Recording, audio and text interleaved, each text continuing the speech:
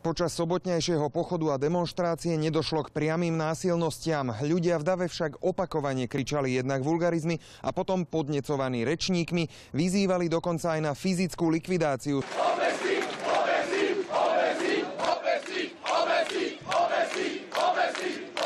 Europoslanec Richard Sulík hlasoval proti kvótam. Podobné reakcie však odsudzuje. čokoľvek chceme riešiť, nesmie to byť e, formou násilia a ani nielen verbálneho násilia. Keď Dav opakovane skandoval vulgárny popevok ohľadne europoslankyne Moniky Flašíkovej Beňovej, banskobistrický župan to s úsmevom na tvári schváľoval.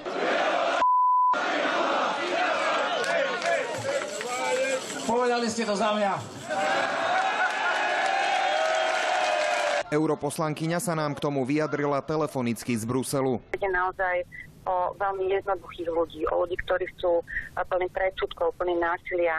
Oni majú zrejme problémy sami so sebou. Marian Kotleba je podľa nej psychicky narušený človek. To je taká typická črta Mariana Kotlebu.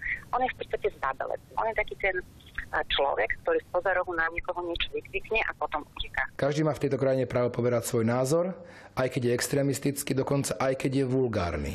Ale nikto nemá právo ničiť majetok, kohokoľvek iného a nikto v tejto krajine nemá právo útočiť na bezbránených civilných ľudí. Keď sa niekto verejne vyhráža smrťou, ťažkým ublížením na zdraví, tak môže byť naplnená skutková podstata trestného činu. Ak porušujete zákon v dave, neznamená to, že sa vyhnete trestu. Čiže malo by sa aj skúmať, že ktorí jednotlivci, možno respektíve kto podnecoval k takémuto trestnému činu. Daniel Levický Archleb, televízia hay